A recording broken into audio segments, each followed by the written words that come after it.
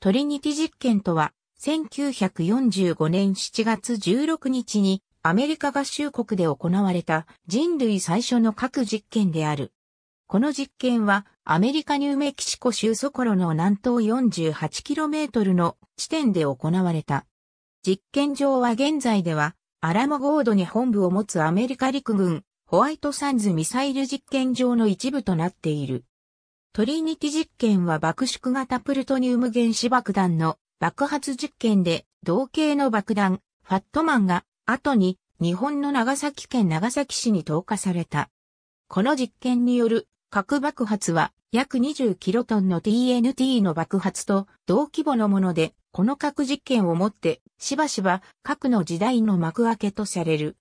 核兵器の開発は1930年代後半の政治潮流と科学の発展に橋を発する。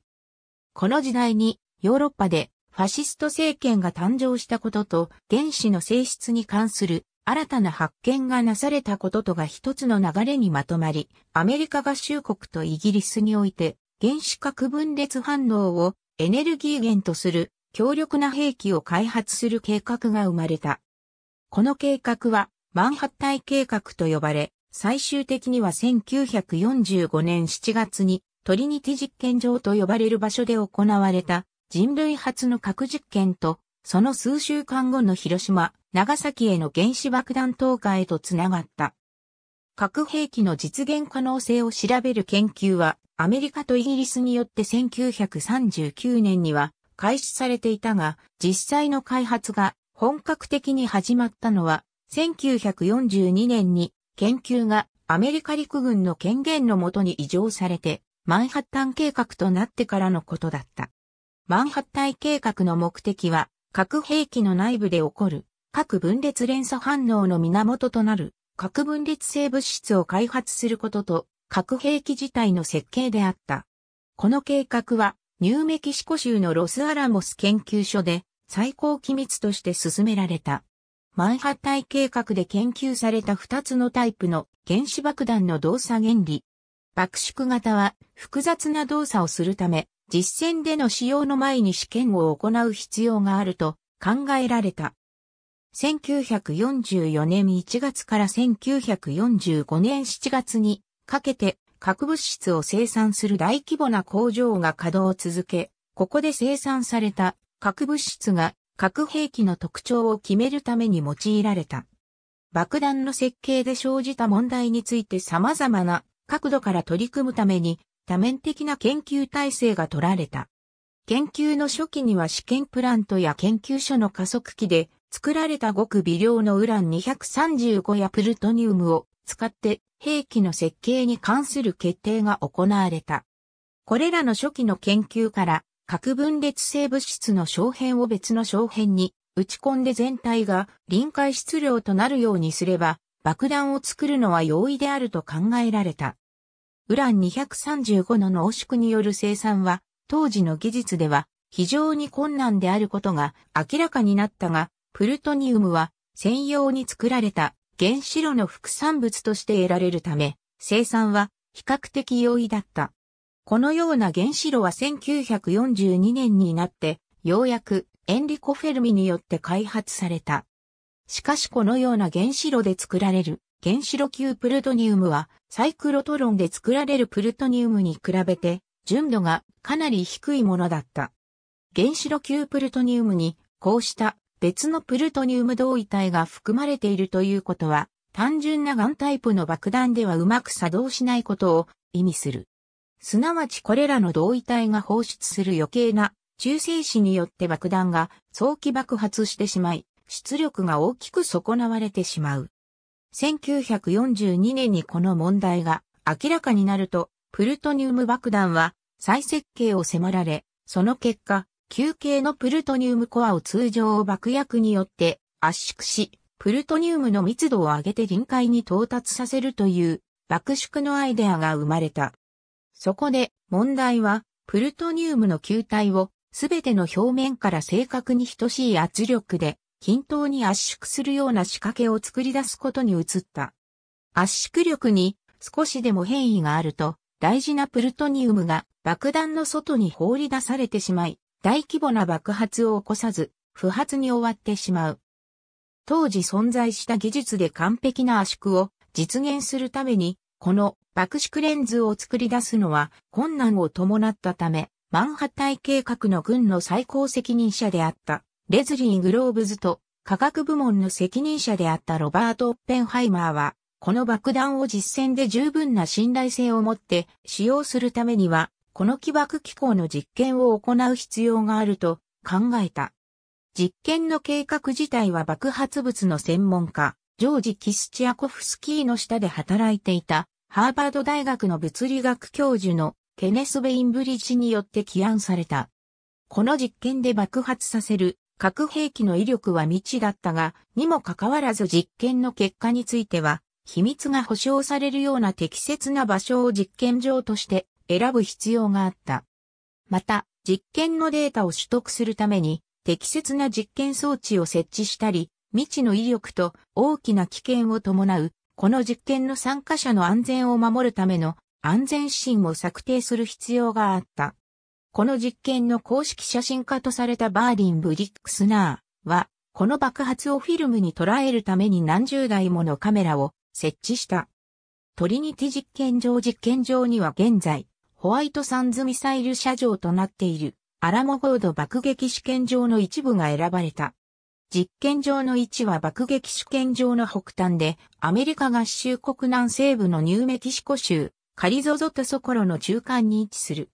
この実験に付けられたトリニティという名称の正確な由来は不明だが、ロスアラモス研究所長のロバート・オッペンハイマーがジョン・ダンの死から引用したものとしばしば言われている。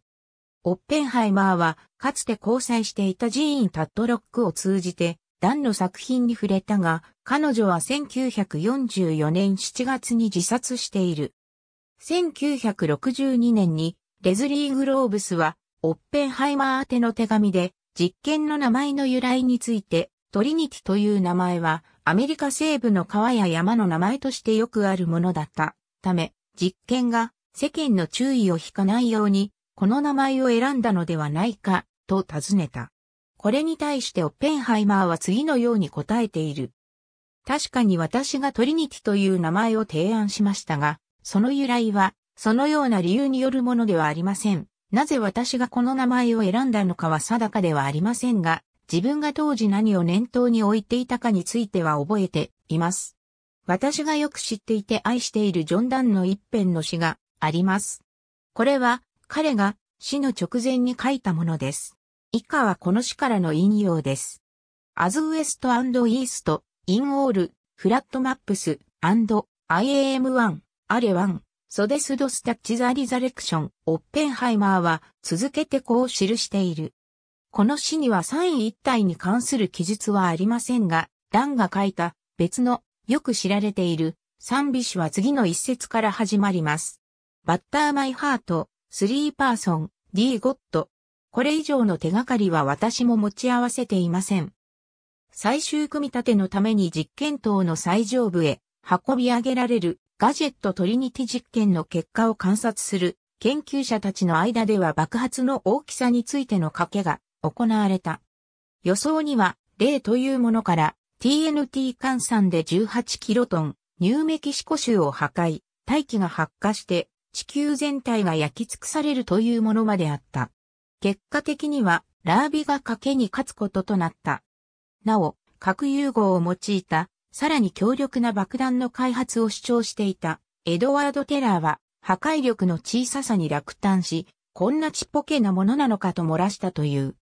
計測機器の構成を行うため、5月7日に108トンの TNT を使って予備の爆発実験が行われた。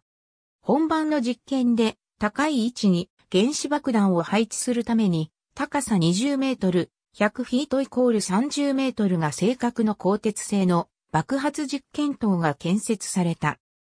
これは空中で爆発させれば目標に直接与えるエネルギー量を最大化でき、爆発後に放射性効果物に変わる粉塵の巻き上げが地表で爆発させるよりも少なく抑えられるためで、これらに加えて航空機から爆弾を投下した際にどのようになるかをよりよく示すだろうと考えられたためである。組み立てが完了して実験を待つガジェット7月12日に実験場近くのマクドナルド牧場に資材が到着し、ここでプルトニウムのコアを内蔵した核爆弾の組み立てが行われることとなった。組み立ては7月13日に完了し、翌日に実験棟の上部へ引き上げられた。用意されたジャンボ1万1実験が失敗した際に貴重なプルトニウムを回収するため、グローブズ将軍の命令でジャンボというコードネームで呼ばれる巨大な鋼鉄製の容器が用意されていた。ジャンボは240トンの重量を持ち、当初の計画ではこの中にプルトニウムと通常爆薬5トンからなる起爆装置を置いて爆発させることになっていた。爆縮が成功してプルトニウムの連鎖反応が起これば、ジャンボは蒸発して消滅する。連鎖反応が失敗に終わった場合には、ジャンボの内部で爆発が止まるため、貴重なプルトニウムが飛散するのを防ぐことができる。ジャンボは多額の費用をかけて、ペンシルベニア州ピッツバーグで製造され、鉄道で実験場まで運ばれた。しかしジャンボが実験場に到着する頃には、爆縮機構について研究者たちは強い信頼を持てるようになっていたため、本番の実験にジャンボを使わないことになった。その代わりに、ジャンボはガジェットから730メートル離れた位置にある別の鉄塔に引き上げられ破壊力を観察する資料とされた。この距離は爆弾の威力を概算した結果決められた。最終的にガジェットの爆発によってジャンボは破壊されずに残ったが、ジャンボを支える鉄塔は倒壊した。爆発は当初7月16日午前4時に予定されていたが、当日の早朝から雷雨が続いたために延期された。雨天の下では放射線や放射性効果物の危険が非常に大きくなることが予想され、また雷によって予期しない爆発が起きてしまう可能性を研究者たちが心配したためであった。トリニティ実験での核爆発を捉えた数少ないカラー写真の一枚メディアを再生するトリニティ実験のビデオ7月16日午前4時45分になって気象情報が好転し、午前5時10分に20分前の秒読みが開始された。最上級の研究者や軍人たちのほとんどは実験棟から10マイル南西に設けられたベースキャンプから実験を見守った。その他の多くの見物人は20マイル離れた位置におり、それ以外にも様々な距離に陣取った人々がいた。最終秒読みは、物理学者のサミュエル・アリソンによって読み上げられた。現地時間のエネルギーを放出した。この爆発で砂漠の爆心地には、放射能を帯びたガラス質の石からなる深さ3メートル、直径330メートルのクレーターが残された。爆発の瞬間、実験場を取り囲む山々は1秒から2秒の間、昼間よりも明るく照らされ、爆発の熱はベースキャンプの位置でもオーブンと同じくらいの温度に感じられたと報告されている。観察された爆発の光の色は紫から緑、そして最後には白色へと変わった。衝撃波による大音響が観察者の元に届くまでには40秒かかった。爆発の衝撃波は100マイル離れた地点でも感じることができ、キノコ雲は高度 12km に達した。オッペンハイマーはこの爆発を目の当たりにして、ヒンドゥー教の詩篇、バガバットギーターの我はしなり、世界の破壊者なりの一節が心に浮かんだ、と後に述べている。実験責任者のケネス・ベインブリッジはオッペンハイマーに対して、これで俺たちは、皆クソ野郎だなと言った。オッペンハイマーの弟のフランクによれば、彼は爆発の瞬間、うまくいったなとだけ言ったという。実験後の爆心地当時のニュースでは、実験場から150マイル西にいた森林警備隊員が、先行の後に爆発音と黒い煙を見たという証言を報じている。また実験場から北に150マイル離れた場所にいた住民は爆発で空が太陽のように明るくなったと述べた。その他の報告では200マイル離れた場所でも窓がガタガタとなり爆発音が聞こえたと言われている。実験直後のトリニティクレーターの航空写真。画面右下の角に見える小さなクレーターは TNT100 トンを用いた予備実験でできたクレータークレーターの内部では主に計算塩でできている砂漠の砂は融解して明るい緑色でわずかに放射能を帯びたガラスに変化した。この物質はトリニタイトと命名された。トリニタイトは熱で融解した潮石と石英からなる。クレーターは実験後間もなく埋められた。実験後、アラモゴード航空基地は遠隔地の火薬庫が爆発したが、死者、負傷者は出なかったという55からなるプレスリリースを発表した。実際の爆発の原因は8月6日に広島市に原子爆弾が投下されるまで公表されなかった。マンハッタン計画の公式ジャーナリストであるウィリアム・ L・ローレンスは緊急時に発表できるように事前に複数のプレスリリースをファイルしてニューヨークタイムズの自分のオフィスに置いていた。この原稿の中には実験の成功を伝えるものからたった一度の異常な事故でなぜ研究者全員が死んでしまったかを説明するという恐ろしいものまで用意されていた。トリニティ実験では約260名の人員が参加していたが、爆心地から 9km 以内に近づいた者はいなかった。1946年に行われた一連の各実験であるクロスロード作戦では4万人以上が参加している。トリニティ実験場付近での放射性効果物の分布。放射能を含んだ雲は高レベルの放射線を放射しながら北東へ約 160km 移動した。実験の結果はハリー・エストルーマン大統領のもとに伝えられ、ポツダム会談でソビエト連邦との交渉のカードとして使われた。しかし、トルーマンはヨシフ・スターリンに非公式に原子爆弾のことを伝えた際に彼が特に反応を示さなかったことにささかショックを受けた。これはスターリンがすでにマンハッタン計画や原爆について諜報員を通じて知らされていたためである。トリニティ実験の成功に続いて日本に対して使用するために2発の原子爆弾が準備された。8月6日に日本の広島市に投下された一発目の爆弾は、リトルボーイというコードネームで呼ばれ、各分裂物質として、ウラン235が使われていた。このタイプの原子爆弾は、実験を行っていなかったが、爆縮型の原爆に比べて構造が、はるかに単純なため、ほぼ間違いなく正常に作動することが予想された。それ以前に、ウラン235は、この時点で爆弾一発分しか生産できていなかったため、いずれにせよ、10日前に実験を行うことはできなかった。8月9日に長崎市に投下された2発目の爆弾は、ファットマンというコードネームで呼ばれ、トリニティ実験でテストされたのと同じタイプのプルトニウム爆弾だった。広島と長崎への原子爆弾投下によって、少なくとも12万人以上の人々が即死し、その後も時とともに多くの人々が犠牲となった。非戦闘員の無差別虐殺であるという主張や、これによってダウンフォール作戦の決行を逃れ、長期的に見ればより多くの人命を救う結果となったという主張も存在する。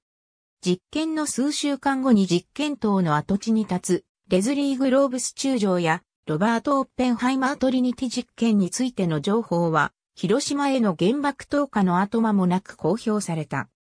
1945年8月12日に発表されたスミスリポートには、この爆発実験に関するいくつかの情報が書かれており、この文書のハードカバー版は、プリンストン大学出版会から数週間後に出版された。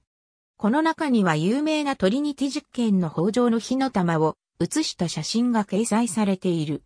戦後間もなく、オッペンハイマーとグローブズが実験棟の残骸のそばでポーズを撮る写真が撮影された。この年、この写真は、いわゆる核の時代の始まりを告げる顕著な象徴となり、トリニティ実験は大衆文化の中でも取り上げられるようになった。トリニティ実験の跡地に立つ記念碑1952年に実験場は整地され、跡地に残されていたトリニタイトは廃棄された。1965年12月21日にトリニティ実験場はアメリカ国定歴史建造物に指定され、1966年10月15日には国定史跡にも指定された。実験から50年以上が経過した2003年現在でも実験場跡地では通常環境の約10倍というわずかな残存放射線が検出される。アメリカ陸軍当局はトリニティ実験場に1時間滞在する間に浴びる放射線の量は食物を摂取したり日光を浴びたりする際に受ける放射線量よりもずっと少ないとしている。実験場に建てられている高さ約3.65メートルの溶岩でできた記念碑は爆発の中心地表を示している。この近くにはジャンボもそのまま残されている。トリニティ実験場は現在も各ツアーの客たちにかなり人気の目的地となっているが、実験場跡が開放されるのは年に2回、4月と10月の第1土曜日のみである。2005年7月16日には、トリニティ実験60周年を祝う特別ツアーが企画され、数百人の訪問者がこの記念日を祝うために集まった。トリニティ実験場付近の住民は長年にわたり、半然都市内癌の発症例がニューメキシコ州南中部一帯で繰り返し発生し、それにより多くの住民が死亡していると主張した。また、政府に対して核実験の放射線量の影響を判断するよう求めた。これに対して2008年に未公表の報告草案がまとめられたが、推計が含まれており、住民が納得できるものではなかった。こうした中、2014年9月、実験当時にニューメキシコ州に居住していた住民を訪ね、実験によって汚染された食物の摂取による内部被曝の影響をアメリカ国立がん研究所で調査することとなった。ありがとうございます。